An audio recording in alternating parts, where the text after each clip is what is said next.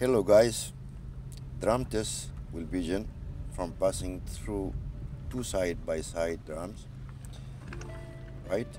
You will be told to either go left or right, start the drum test. Okay? In this case, going left and stop car in the middle front two drums. Okay? While steering is straight, look back when the left window blind spot okay and reverse back the car until you see 40% view of second drum okay then turn your steering fully left okay that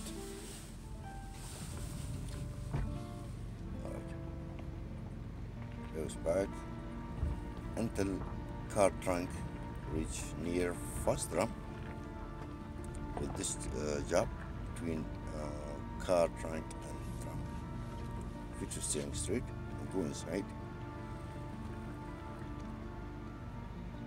then turn fully left again. When the both side is straight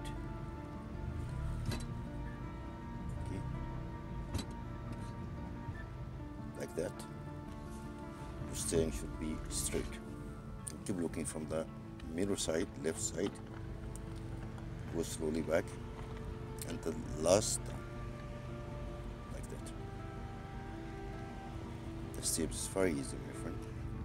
You can pass the drums for just five steps. Alright guys now we are going right side.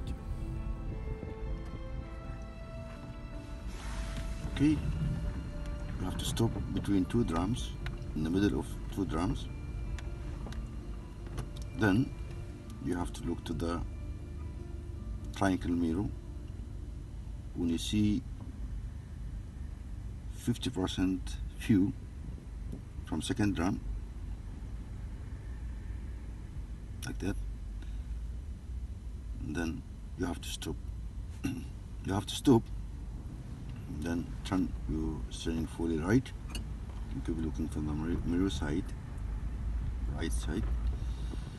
Until you reach to the near drum fix your steering straight. And then from this moment you turn fully right. Okay? On the both side is straight you need to stop and fix your steering straight. Look again from the mirror to make sure your car going straight. You can do it step by step. Don't be in a hurry okay? This is from right side. Okay. Thank you